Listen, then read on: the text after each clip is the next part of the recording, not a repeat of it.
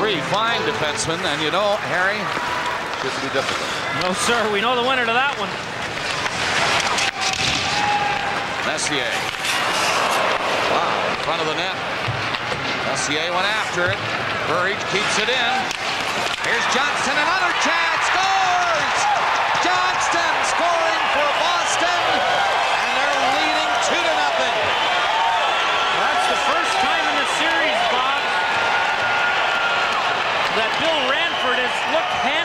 at all.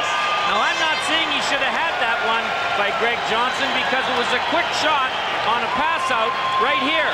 Sweeney gets it over to Burridge, who beats Anderson long enough to get it to Johnston, and he put it away quickly.